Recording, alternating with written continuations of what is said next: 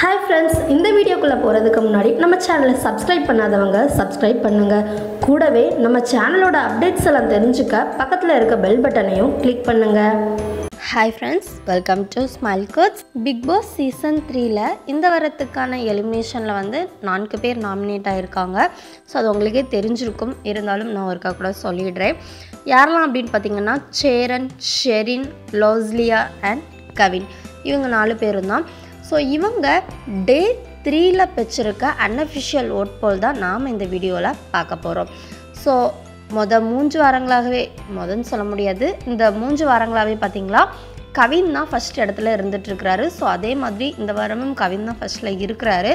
So இவர் பெற்றிருக்க unofficial vote எவ்வளோ அப்படின்னு பார்த்தீங்கன்னா டே த்ரீயில் ஒரு லட்சத்தி ஒன்பதாயிரத்தி ஐம்பத்தி நான்கு வாக்குகள் பெற்றிருக்கிறாரு. ஸோ அடுத்த இடத்துல இருக்கிற சேரன் எண்பத்தி ஒன்றாயிரத்தி ஐநூற்றி நாற்பத்தி ஒன்பது வாக்குகள் பெற்றிருக்கிறாரு. லோஸ்லியா தேர்ட் பிளேஸில் இருக்கிறாங்க. இவங்க அறுபத்தி நான்காயிரத்தி நானூற்றி ஏழு வாக்குகள் பெற்றிருக்காங்க.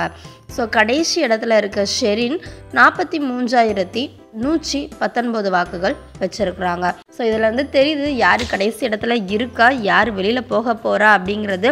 உங்களுக்கே கெஸ் பண்ண முடியும் அப்படின்னு நினைக்கிறேன். ஸோ ஷெரின் தான் இந்த வாரம் வெளியில் போகிறதுக்கான அதிக வாய்ப்புகள் இருக்கிற மாதிரி தெரியுது. ஸோ கண்டிப்பாக இந்த வாரம் ஷெரின் வெளியில் போயிடுவாங்க அப்படின்னு தான் தெரியுது.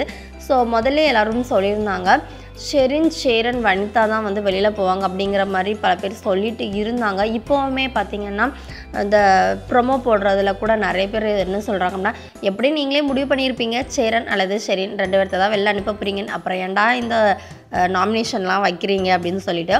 ஸோ சொன்ன மாதிரியே பட் இந்த வாரம் பார்த்தீங்கன்னா சேரனுக்கு கொஞ்சம் வாக்குகள் அதிகரிக்க ஆரம்பி அவருக்கும் ஃபேன்ஸ் ஃபாலோவர்ஸ் இருக்கிறாங்க அப்படிங்கிறத இதில் காட்டிட்டாங்க அவங்க ஃபேன்ஸு ஸோ இப்போ ஷெரினுக்கு கொஞ்சம் வாக்குகள் கம்மியானதுனால இவங்க இந்த வாரம் வெளியில் போவாங்க அப்படிங்கிற மாதிரி எதிர்பார்க்கப்படுது. ஸோ இது எப்போ வேணாலும் எப்படி வேணாலும் மாறும். பொறுத்திருந்து பார்க்கலாம் ஸோ அவங்களுடைய ஒப்பீனியன் என்ன அப்படிங்கிறத கீழே கமெண்டில் தெரியப்படுத்துங்க. தேங்க்யூ